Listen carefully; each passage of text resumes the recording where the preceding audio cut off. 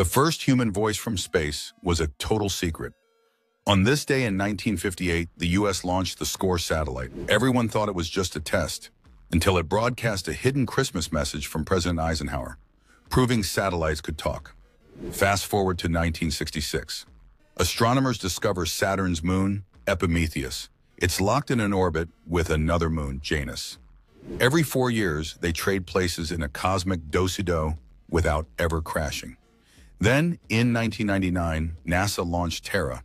Built to last six years, this flagship satellite watched our climate for 25 plus years. If you've seen a photo of a hurricane or wildfire from space, thank Terra.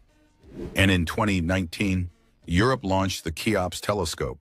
It doesn't hunt for new planets. It stares at stars we already know have them to see if the planets are rocky Earths or gassy giants. December 18th changed our view from above, which is crazy because